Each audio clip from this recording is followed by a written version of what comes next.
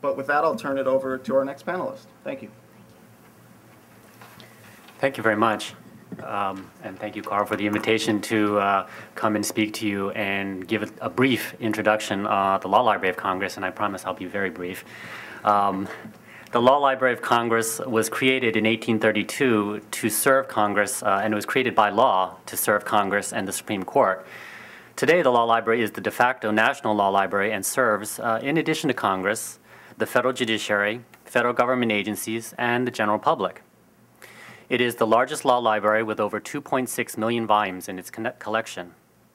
The Law Library, as part of the Library of Congress, strives to provide, uh, as the current Law Librarian of Congress, Roberta Shaffer, likes to say, the four A's access to authoritative, accurate, and authenticated legal information from all jurisdictions local, national, and international. In addition to making its resources available, a law library mission is to sustain and preserve a universal collection of law for the future.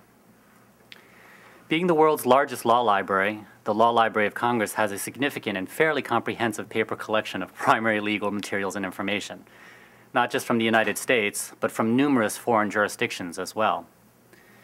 The Law Library also provides access to a growing amount of these primary materials in electronic and digital format, and it would like to uh, provide greater access to uh, materials that are not currently in, uh, currently in its collection, but not currently in digital format. Since 1995, the library has provided access to U.S. federal legislative information through the thomas.gov site. As many of you know, Thomas provides access to federal legal and legislative information such as bills, resolutions, the congressional record, schedules and calendars, and other committee information. The Law Library is the content manager for thomas.gov and continues to improve the site. So, for example, uh, recently the Law Library uh, added a new feature such as expanding a sharing feature that allows users to save or share a permanent link via bookmarks, email, or even social networking sites.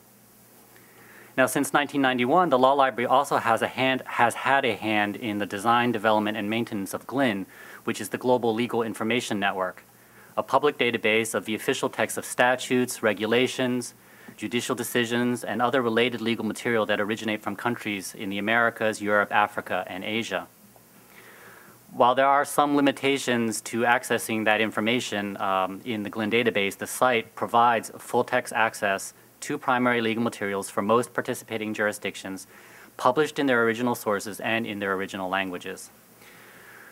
So, uh, the law library itself is guided by the belief that universal access to and the understanding of law serves as an important role in the society. And these are just some of the examples of what the law library is doing currently in trying to create a world digital law library that would allow researchers throughout the world to search for and use local, state, national, and international primary sources and public domain legal and legislative information. Is that brief enough?